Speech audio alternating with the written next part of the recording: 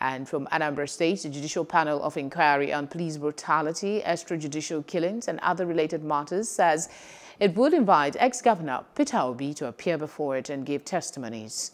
Chairman of the panel, Justice Veronica Umeh, said this when a petitioner, Bonaventure Mokwe, accused the former governor of rash actions following SARS reports. Bonaventure claimed he was arrested and tortured by men of the Special Anti-Robbery Squad and that the governor demolished his hotel over alleged involvement in kidnapping activities. He filed a five-page petition to the panel and demanded a public apology from the state government for being branded a kidnapper and kept in SARS custody for 81 days without any charges against him. Hello, hope you enjoyed the news. Please do subscribe to our YouTube channel and don't forget to hit the notification button so you get notified about fresh news updates.